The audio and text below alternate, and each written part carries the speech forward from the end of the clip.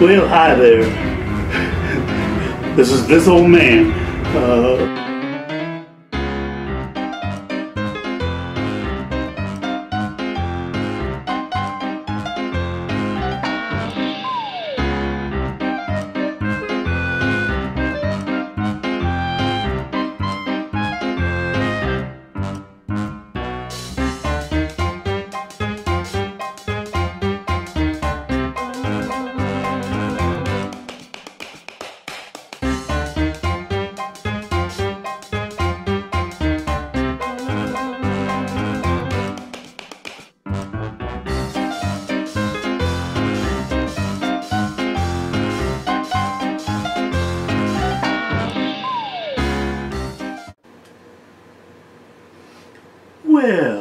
there. This is this old man.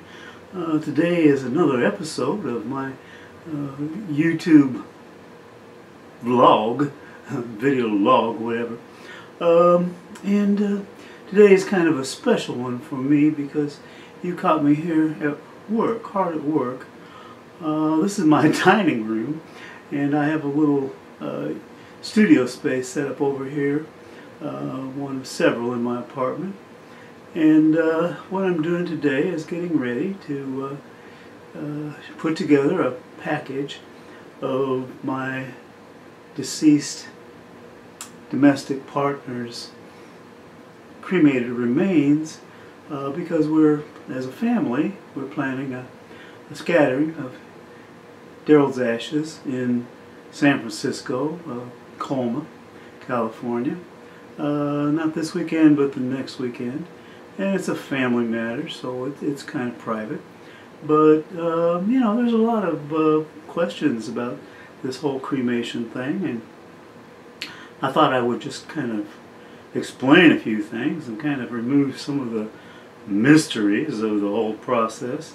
Um, quite frankly, you know, I've never been a fan of of uh, burials in cemeteries uh, where you own a piece of uh, property for eternity.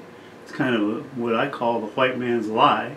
That's a white man's lie going back in history, way back, way back to the Magna Carta, probably and beyond, where all of a sudden certain people, just by right of birth, are able to own pieces of Mother Earth.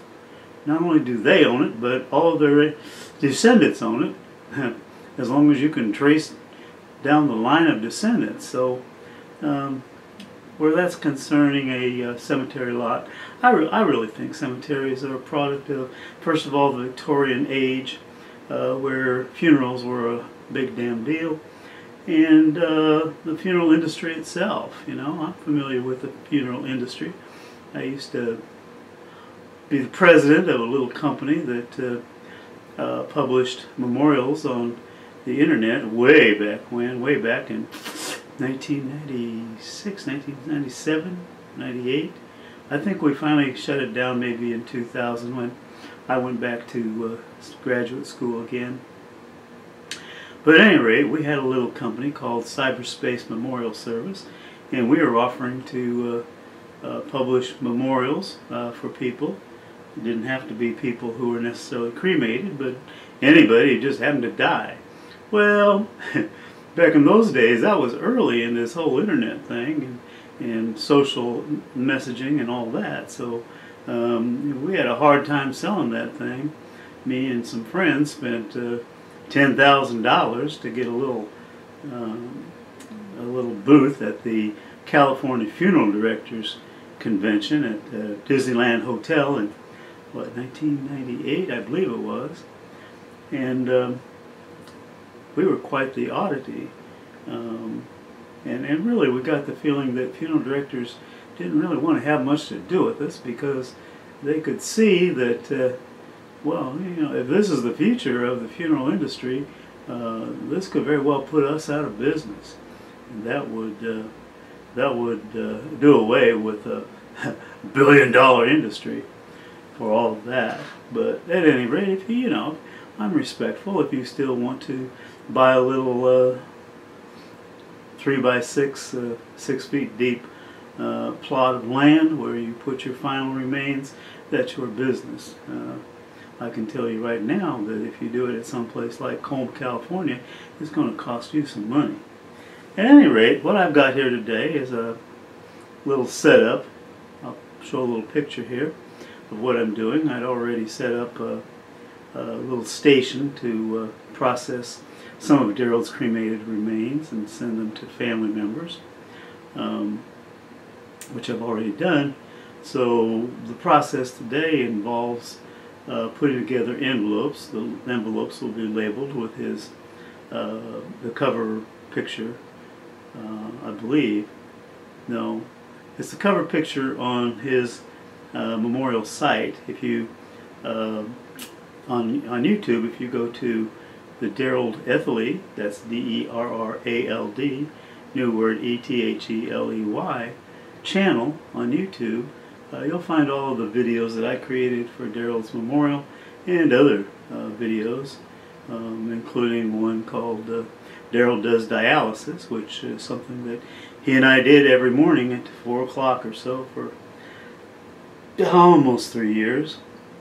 And uh, went to dialysis three days a week but uh, before that or rather before that yeah he his kidneys were failing but uh, they didn't fail until he tested positive for COVID even though he'd already been fully vaccinated. So it's been quite a process that finally ended up in Derrald's passing on May 1st, not from anything related to kidney failure, but from um, lymphoma cancer uh, that developed uh, in his uh, region down around his uh, kidneys and so forth. Pretty complicated situation that I don't think the uh, I don't think the medical profession and the facilities that we have here in Oregon um, were quite ready to uh, look and, and treat him. Uh, and finally, the uh, last conversation with his oncologist was simply, you've already had a liver transplant in 2013, um, you've been in dialysis now, um, and now you've got cancer. Well, we can't give you chemotherapy, we can't give you radiation therapy because all of those things would cause your body to reject your liver and you die anyway. So all we can do is make you comfortable and pain-free. And at that point, as his uh, domestic partner, having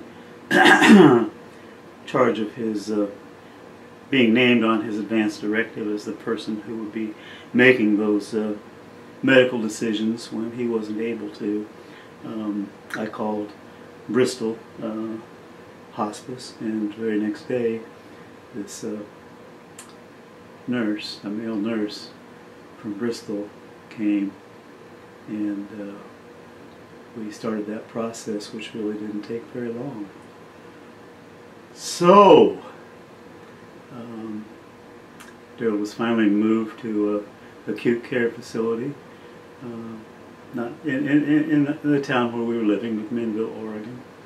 And um, he actually passed away in a acute care facility that was two blocks from the mortuary. So it was all very easy, and the folks at uh, Macy and Son in McMinnville, the, the uh, funeral home there, made it very easy um, and, and we and, and pain-free for us, the family. Um, Derrald's sister Lavette and his brother Terry had both flown up here to uh, take over the process of dealing with all of the final issues from the estate sale to the house sale to and they kind of left left it to me to design the content for his memorial service on June 15th, uh, 2024 at uh, at the Loucks Auditorium at the uh, Public Library in Salem, Oregon. And you can watch all of that on Derrald's YouTube channel. So I'm going to stop here and kind of change camera angles and, and we'll just take a look at the little process that I'm working on. And we'll all see you a little bit later. Bye-bye.